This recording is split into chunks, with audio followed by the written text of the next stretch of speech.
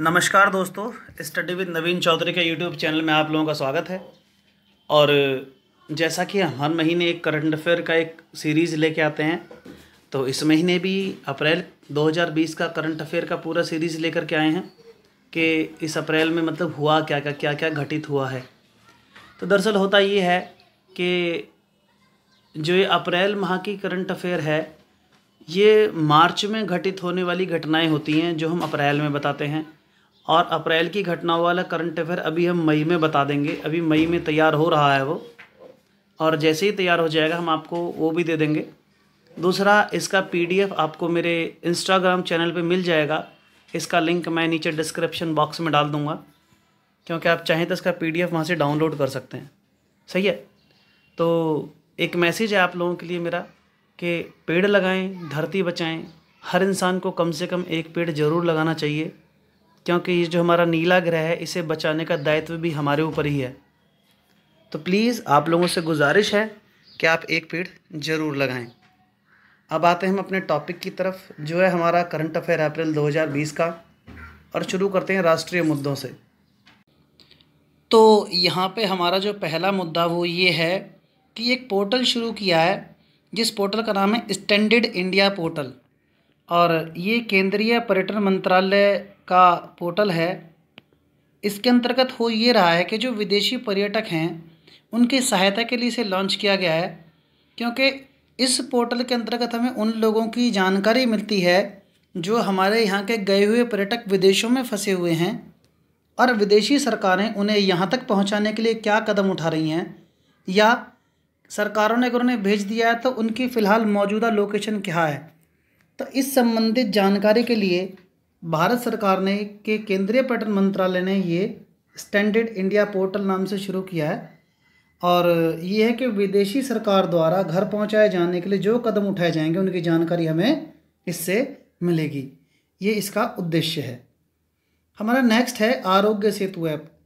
दरअसल आरोग्य सेतु ऐप है जो कि हमारे यहाँ एक संस्थान है, राष्ट्रीय सूचना विज्ञान केंद्र। इसने इस ऐप को लॉन्च किया है। और ये कार्य जो करता है करता है केंद्रीय इलेक्ट्रॉनिक्स एवं सूचना प्रौद्योगिकी मंत्रालय के अंतर्गत कार्य करता है। इस ऐप का जो मुख्य कार्य है, वो ये है कि Covid nineteen, corona virus infection disease 2019 इसका नाम है। इससे संक्रमित जितने भी लोग हैं, अगर वो किसी स्वस्थ इंसान के नज़दीक आते हैं मतलब व्यक्ति के छः फिट के संपर्क में आते हैं तो यह एप्लीकेशन उन लोगों को सचेत कर देती है कि जिस व्यक्ति के साथ आप खड़े हैं या जो व्यक्ति आपके संपर्क में आ रहा है, वह कोरोना इन्फेक्टेड है। तो ये कार्य करती है आरोग्य सेतु ऐप। अब एक बात और है इसके बारे में कि इस वक्त दुनिया में सर्वाधिक डाउनलोड होने वाला ऐप जो है, वो आरोग्य सेतु ऐप है। अगला जो हमारा है, अगला है हमारा आई गोट पोर्टल। तो आई गोट पोर्टल का मतलब है ये जो लॉन्च किया है किया है मानव संसाधन विकास मंत्रालय ने, और दीक्षा प्लेटफॉर्म पर लॉन्च किया है इसे। और इस पोर्टल को लॉन्च करने का जो उद्देश्य ये है कि जो हमारे कोरोना वॉरियर्स हैं, जिन्हें हम कोरोना वॉरियर बोलते हैं, कहने का मतलब डॉक्टर हैं, नर्सें हैं, स्वच्छता कर्मचारी हैं, पुलिस संगठन है और स्वयंसेवक आदि हैं तो ये क्या काम कर रहे हैं? ये ना इन्हें कुशल प्रशिक्षण दिया जा रहा है कोरोना इन्फेक्टेड डिज़ीज़ से निपटने के लिए, कि किस प्रकार की सुविधाएँ हमें करनी चाहिए या किस प्रकार के हमें जो है सावधानियाँ बरतनी चाहिए। जो इससे बचा जा सके और लोगों को बचाया जा सके। तो इस प्रकार की जानकारी के लिए आई गॉट पोर्टल बनाया गया है। अगली जो हमारी एप्लीकेशन है, वो Aarogya Setu I V R S है। कहने का मतलब ये एप्लीकेशन आरोग्य सेतु ऐप की ही एक ब्रांच है। ये उन लोगों के लिए है जिन लोगों के पास स्मार्ट मोबाइल नहीं है। तो जिन लोगों के पास स्मार्ट मोबाइल नहीं है तो वो कैसे आरोग्य सेतु डाउनलोड करें? तो एक नई एप्लीकेशन बनाएगी Aarogya Setu I V R S S मतलब इंटरेक्टिव वायरस रेस्पॉन्स सिस्टम तो केंद्र सरकार ने तमिलनाडु सरकार के साथ सहयोग से पहल शुरू की है और यह उन लोगों के लिए है जो स्मार्ट मोबाइल नहीं चलाते हैं तो वो लोग एक मिस कॉल दे करके ही इस सिस्टम को एक्टिवेट कर सकते हैं। जब भी, कभी कोई भी व्यक्ति कोरोना इन्फेक्टेड उसके संपर्क में आएगा तो वह उन्हें फ़ोन द्वारा सूचित कर देगी। अब अगली जो हमारी सूचना है वो ये है कि ऑपरेशन शील्ड एक शुरू किया है। जो दिल्ली सरकार ने शुरू किया है। और इस ऑपरेशन के अंतर्गत ऐसा है, इसका उद्देश्य है कि कोविड नाइन्टीन से प्रभावित जितने भी इलाके हैं दिल्ली में, उन्हें पूरी तरह से सील कर दिया जाए ताकि कोरोना का इन्फेक्शन अधिक ना फैल सके। यहीं पे कहने का मतलब ये है कि सोशल डिस्टेंसिंग का पूरा पूरा पालन किया जाए। अब अगला जो हमारा है, वो है युक्ति पोर्टल। युक्ति पोर्टल जो लॉन्च किया है, वो मानव संसाधन विकास मंत्रालय द्वारा लॉन्च किया गया है। और इसका कार्य ये है कि जो मानव संसाधन विकास मंत्रालय जो कार्य कर रहा है, जितने भी प्रयास कर रहा है इस कोरोना कोविड से निपटने के, उन पर नज़र रखी जा सके। एक तो इसका कार्य ये है, लिखा हुआ देखिए जिसके द्वारा कोरोना वायरस के लिए मंत्रालय द्वारा किए गए प्रयासों की निगरानी की जाए। एक तो ये कार्य करता है। दूसरा क्या करता है कि इससे जितने भी वो प्रयास कर रहे हैं, उसके बावजूद भी उनसे निपटने में जो भी परेशानियाँ, जो भी चुनौतियाँ आ रही हैं, उनके आयामों को समग्र और व्यापक तरीके से दिखा रहा है कि भैया कि इसके अंदर ये प्रॉब्लम्स आ रही हैं और इन्हें निपटने के लिए और क्या क्या करना चाहिए। ये कार्य कर रहा है ये युक्ति पोर्टल। अब हमारा है नेक्स्ट जीवन शक्ति योजना। दरअसल जीवन शक्ति योजना मध्य प्रदेश सरकार द्वारा चलाई गई है। और इसका उद्देश्य ये है कि शहरी महिलाएँ जो घरों में रहती हैं, उन्हें प्रोत्साहित किया जा रहा है कि वो मास्क बनाएँ और उसके दो फ़ायदे तो उन्हें आजीविका चलाने के लिए वित्तीय सहायता प्रदान की जाएगी। दूसरा, हमें मास्कों के लिए किसी दूसरे देश पर निर्भर नहीं रहना पड़ेगा।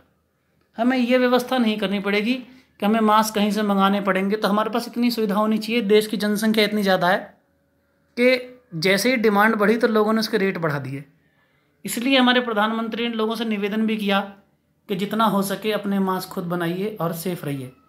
तो इसी के अंतर्गत जीवन शक्ति योजना शुरू की गई, जो कि मध्य प्रदेश सरकार द्वारा शुरू की गई है।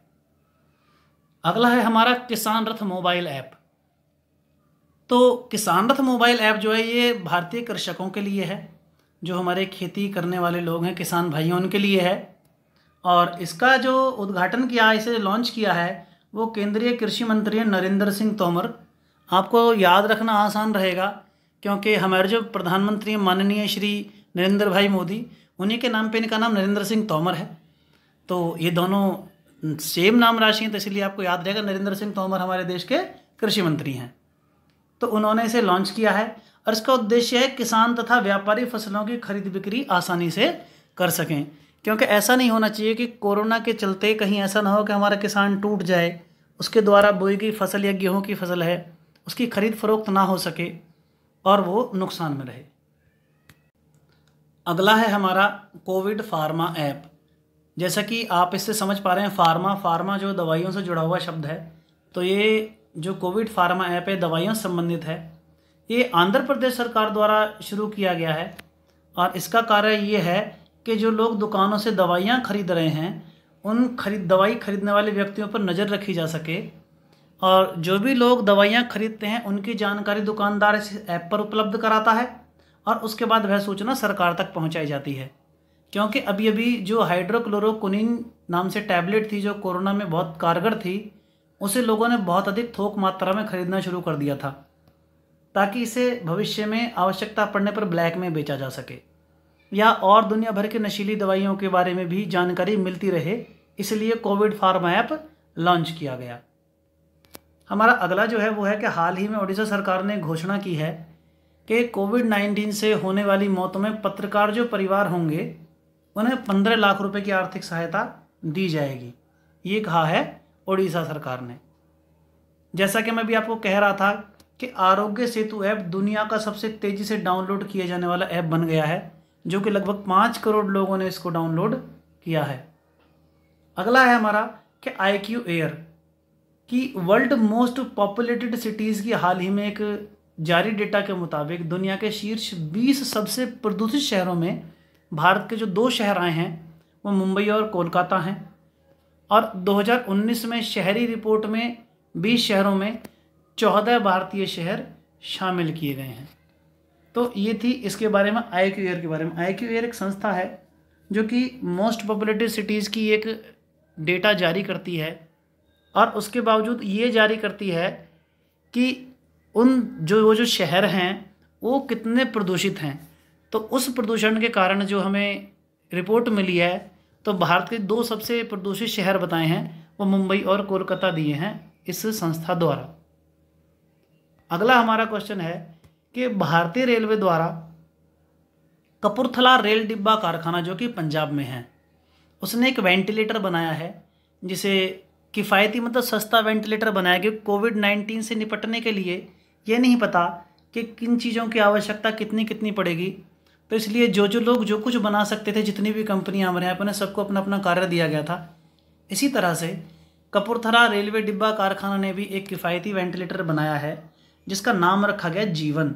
सवाल ये पूछा जाएगा कि कपूरथला रेल डिब्बा कारखाना द्वारा बनाए गए वेंटिलेटर का क्या नाम है? तो इस वेंटिलेटर का नाम है जीवन। और इसका जो मुख्य उपयोग है, मरीजों के फेफड़ों में ऑक्सीजन सप्लाई करना है, जो ये काम करता है, जो कि बहुत आवश्यक कार्य है। हमारा नेक्स्ट जो अफेयर है, वो ये है कि जम्मू कश्मीर सिविल सेवा अधिनियम द्वारा हाल ही में जारी सूचना के अनुसार जम्मू कश्मीर का अधिवासी बनने के लिए न्यूनतम समय सीमा पंद्रह वर्ष कर दी गई है। कहने का मतलब अगर आप लोगों को जम्मू कश्मीर की नागरिकता चाहिए तो आपको वहाँ पंद्रह वर्ष कम से कम रहना पड़ेगा। अन्यथा, सात वर्षों तक आपको वहाँ पर अध्ययन करना पड़ेगा किसी क्षेत्र में। अगर आप इन दोनों में से कोई सा भी कार्य करते हैं तो आपको जम्मू कश्मीर सिविल सेवा अधिनियम मतलब जम्मू कश्मीर में आपको आदिवासी बनने की छूट मिल जाएगी। आप जम्मू कश्मीर में के नागरिक हो जाएँगे। दरअसल भारत सरकार ने कोविड नाइन्टीन से संबंधित जितने भी निजी क्षेत्र हैं, गैर सरकारी संगठन और अंतर्राष्ट्रीय संगठन, उनके साथ एक समन्वय मीटिंग करी, एक समिति बनाई है। उन सबके साथ समन्वय करते हुए, कोऑर्डिनेशन करते हुए एक समिति बनाई है, जिसकी अध्यक्षता जो कर रहे हैं, वो अमिताभ कांत जी कर रहे हैं। और इसके साथ एक तथ्य और जुड़ा हुआ है कि अमिताभ कांत जो है हमारे नीति आयोग के सीईओ हैं चीफ एग्जीक्यूटिव ऑफिसर हैं। और ये इसकी अध्यक्षता कर रहे हैं। इसका जो उद्देश्य है वो ये है कि विश्व बैंक, एशियन विकास बैंक, संयुक्त राष्ट्र एजेंसियों के साथ मुद्दों का समाधान करना, जिस तरह के मुद्दे इनसे आते हैं। अगला है कि दिल्ली सरकार ने सात अप्रैल को एक प्लान लॉन्च किया, जिसे फाइव टी प्लान कहा गया है। Five T plan. ये प्लान पाँच चरण में है। फाइव स्टेप्स हैं इसमें। इसका शुभारंभ किया है और इसके अंतर्गत क्या है? कि इसके परीक्षण, ट्रेनिंग टीम वर्क उपचार तथा ट्रैकिंग, ये पाँच चीज़ें इसके अंतर्गत शामिल हैं। पहले परीक्षण करना है, फिर ट्रेनिंग करनी है, फिर टीम वर्क के साथ उसका उपचार करना है, फिर ट्रैकिंग, यानी कि जब उसे भेज दिया जाए सही होने के बाद तो उसका ये पता लगाना वो है कहाँ पे। ये सारे कार्य फाइव टी प्लान के अंतर्गत आते हैं। हमारा नेक्स्ट है कि भारत सत्तर परसेंट वैश्विक उत्पादन के साथ हाइड्रोक्सी क्लोरोकुनिन दवा का सबसे बड़ा उत्पादक तथा निर्यातक देश बन गया है। ये एक विशेष बात है, क्योंकि हाइड्रो हाइड्रोक्सी क्लोरोकुनिन जो है, ये कुनैन का ही एक विस्तृत रूप है। उसकी एक नेक्स्ट जनरेशन है, जो कि एक सेनकोना के वृक्ष से प्राप्त होती है। और ये दवा मलेरिया में बहुत कारगर है, जो कि कोविड नाइन्टीन में सर्वाधिक फ़ायदा कर रही है। नेक्स्ट है हमारा उत्तराखंड स्थित देश का सबसे पुराना राष्ट्रीय उद्यान, जिसे जिम कार्बेट कहते हैं। इससे पहले इसका नाम हैली था। सबसे पहले जो इसका नाम था, वो हैली था, हैली। तो वो जो हैली राष्ट्रीय उद्यान है, उसमें जानवरों के लिए देश का पहला क्वारंटाइन सेंटर बनाया गया है कि जो जानवर कोविड नाइन्टीन से प्रकोप में हैं, जो जानवर कोविड नाइन्टीन से ग्रस्त हैं, उनके लिए क्वारंटाइन सेंटर बनाया गया है। इस उत्तराखंड स्थित राष्ट्रीय उद्यान में, जैसे जिम कॉर्बेट के नाम से अब जाना जाता है, और पहले हैली के नाम से जाना जाता था। नेक्स्ट है हमारा, केंद्रीय पर्यटन मंत्रालय द्वारा देश के महत्वपूर्ण स्थानों के बारे में जानकारी प्रदान करने हेतु एक श्रृंखला लॉन्च किया वेबिनार लॉन्च किया गया है, जिसे कहते हैं देखो अपना देश। तो देखो अपना देश के नाम से एक वेबिनार श्रृंखला शुरू की है और इस वेबिनार में जो सबसे पहले जो जो देश का शहर कवर किया गया है, वो दिल्ली है। दरअसल वेबिनार होता क्या है? तो वेबिनार इंटरनेट के माध्यम से ऑनलाइन संबोधित किया जाता है और इससे लोग अपने फ़ोन लैपटॉप आदि के ज़रिए सुन सकते हैं। वेबिनार सेमिनार का एक परिष्कृत रूप है। जैसे सेमिनार्स होते हैं, उसी तरह से वेबिनार होते हैं। तो ये वेबिनार इसी के ऊपर मतलब जैसे सेमिनार्स होते हैं, किसी टॉपिक के ऊपर से वेबिनार में कहने का मतलब आप वेब के थ्रू इंटरनेट के थ्रू अपनी जानकारी दे सकते हैं और लोग जगह जगह बैठ करके अपने लैपटॉप या मोबाइल के थ्रू से सुन सकते हैं। ये है कार्य वेबिनार का। हमारा नेक्स्ट है अंतर्राष्ट्रीय घटनाएँ कुछ। तो जो अंतर्राष्ट्रीय घटनाएँ मैं उनको बताता हूँ क्या हैं। कि वर्ल्ड प्रेस स्वतंत्रता सूचकांक 2020 में, जो कि रिपोर्ट्स विदाउट बॉर्डर्स द्वारा जारी की जाती है, एक संस्था रिपोर्ट विदाउट बॉर्डर्स, इसके द्वारा जारी की जाती है। इसमें जो प्रथम स्थान मिला है, वो नॉर्वे को मिला है, वर्ल्ड प्रेस स्वतंत्रता सूचकांक में। सबसे पहला स्थान नॉर्वे को मिला है, और भारत का स्थान एक है, जबकि यह 2019 में एक सौ चालीसवां स्थान हुआ करता था। अब जो हमारा नेक्स्ट है, वो 2020 में ब्रिटेन के ग्लासगो में ग्लासगो में स्विट्ज़रलैंड में एक सम्मेलन होना था, जो है कॉप ट्वेंटी सिक्स। दरअसल ये सम्मेलन जलवायु परिवर्तन शिखर सम्मेलन है और इसे संयुक्त राष्ट्र ने स्थगित कर दिया है कोविड नाइन्टीन के चलते। इतनी बड़ी पेंडेमिक होने के कारण इसे स्थगित कर दिया गया ताकि लोग बचे रहें, सेफ़ रहें। और यह सम्मेलन जो होना था, वो 9 से 19 नवंबर 2020 के मध्य होना था। और अब इसे स्थगित करके 2021 तक कर दिया गया है। लेकिन अभी नई डेट्स नहीं आई हैं कि अगली जो डेट होंगी वो क्या होंगी या कब हो गए। हमारा नेक्स्ट पॉइंट है कि ऑपरेशन संजीवनी हाल ही में लॉन्च किया है भारत ने।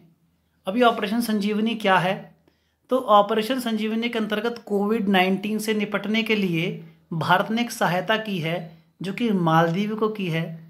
और मालदीव को आवश्यक दवाइयों की छः पॉइंट दो टन आपूर्ति कराई है कि छः पॉइंट दो टन आवश्यक दवाएँ उपलब्ध कराई गई हैं मालदीव को। इस पूरे कार्यक्रम को जो भारत ने नाम दिया वो ऑपरेशन संजीवनी कहा है। ठीक है? तो सवाल पूछा जाएगा कि ऑपरेशन संजीवनी क्या है? तो मालदीव को आवश्यक दवाइयाँ प्रोवाइड कराई गई, ये पूरा ऑपरेशन ऑपरेशन संजीवनी कहा गया है। नेक्स्ट पॉइंट है हमारा आईएमएफ प्रमुख क्रिस्टीना जॉर्जीवा ने, दरअसल आईएमएफ क्या है, इसको बोलते हैं राष्ट्रीय मुद्रा कोष या इंडियन इंटरनेशनल मॉनिटरी फंड। तो जो इंटरनेशनल मॉनिटरी फंड है, उसकी जो अध्यक्षा हैं वो क्रिस्टीना जॉर्जीवा हैं और इन्होंने क्या काम किया कमेटी बनाई है बारह सदस्यों की और इन बारह सदस्यों में से एक सदस्य जो हमारे आरबीआई के पूर्व गवर्नर रघुराम राजन हैं और ये बारह के बारह विशेषज्ञ हैं। और ये आईएमएफ की बाहरी सलाहकार समिति के सदस्य होंगे, जो कि अभी क्रिस्टीना जॉर्जीवा ने गठित की है ये समिति। नेक्स्ट जो पॉइंट आईएमएफ से संबंधित है कि लिखा हुआ है आईएमएफ अंतर्राष्ट्रीय मुद्रा कोष या इंटरनेशनल मॉनिटरी फंड कहा जाता है। इसकी स्थापना जुलाई 1944 में हुई थी और इसका मुख्यालय है वाशिंगटन डीसी में। नेक्स्ट जो हमारा पॉइंट है वो ये है कि मैटरहॉर्न पर्वत है यूरोप में और ये आलपस जो पर्वतमाला है, उसकी एक चोटी है। इसकी ऊंचाई चवालीस मीटर है। तो मैटरहन पर्वत की एक खास बात यह है कि ये स्विट्ज़रलैंड और इटली के बीच में फैला हुआ है। तो इन लोगों ने क्या किया कि कोविड नाइन्टीन जो पेंडेमिक है, इससे लड़ने के लिए भारत के साथ अपनी एकजुटता व्यक्त की इन्होंने। और इसे व्यक्त करने के लिए उन्होंने एक अनोखा रास्ता अपनाया कि इस पर्वत के ऊपर भारतीय ध्वज लगाया और उसको प्रकाशित किया और बताया कि हम आप लोगों के साथ हैं। इस तरह से यूरोप वासियों ने एकजुटता दिखाई है भारत के साथ।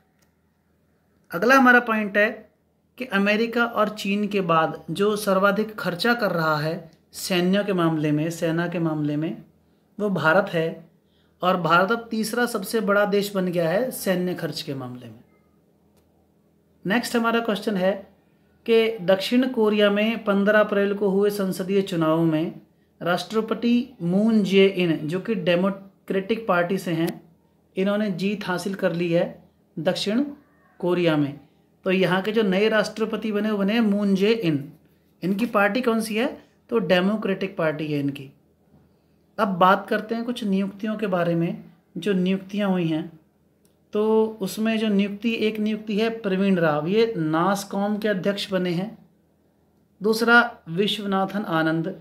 W W F के ब्रांड एम्बेसडर बनिए world wild fund W W F अगले हैं संजय कोठारी। संजय कोठारी केंद्रीय सतर्कता आयोग सीवीवी के प्रमुख नियुक्त किए गए हैं। आगे जो कुछ निधन हैं, जो इस महीने में हुए हैं, वो हैं देवानंद कुंवर, जो कि बिहार एवं त्रिपुरी के पूर्व राज्यपाल थे। इनका निधन हो गया है। अगले हैं हीरानंद चावला। ये शास्त्रीय संगीत गायिका और पद्मश्री से सम्मानित थी। इनका नाम है हीरानंद चावला। अगले हैं बड़े फ़ेमस अभिनेता हैं बॉलीवुड के इरफान खान। इनका भी निधन इसी माह में हुआ है। और उसके शायद दो दिन बाद ही ऋषि कपूर, जो कि बॉलीवुड अभिनेता रहे, कपूर परिवार, जो कि जिसने इस पूरी फ़िल्म इंडस्ट्री को खड़ा किया है, कपूरों का बड़ा योगदान है इसमें। तो ये ऋषि कपूर जो कि बॉलीवुड अभिनेता हैं, इनका भी निधन इसी माह हुआ है। अगले हैं, लाइसेनिया करेज। तो जो लाइसेनिया करेज हैं, ये फिजी के पूर्व प्रधानमंत्री थे। इनका निधन भी इसी माह हुआ है। और इससे अगले हैं, महमूद जिब्रिल। ये लीबिया के पूर्व प्रधानमंत्री थे, इनका निधन भी इसी माह हुआ है। तो ये कुछ निधन हैं जो ज़रूरी थे। जिसमें देवानंद कुंवर, हीरानंद चावला, इरफान खान, ऋषि कपूर, लाइसेनिया करेज और महमूद जिब्रिल। ये लोग हैं जिनका निधन हुआ है। अब बात करते हैं रक्षा विज्ञान एवं प्रौद्योगिकी तो रक्षा विज्ञान एवं प्रौद्योगिकी में जो सबसे पहला पॉइंट होता है, वो होता है पाकिस्तानी नौसेना से। तो पाकिस्तानी नौसेना ने क्या किया है कि सतह पर खड़े जहाज़ों से एक एंटी शिप मिसाइल का परीक्षण किया है, जो कि 25 अप्रैल को किया है इसने। और यह मिसाइल उत्तरी अरब सागर में इसका परीक्षण किया गया है, जो कि खड़े जहाज़ों से दूसरे जहाज़ों पर आक्रमण कर सकती है। ईरान ने 22 अप्रैल को अपना पहला सैन्य उपग्रह नूर का सफल परीक्षण किया है।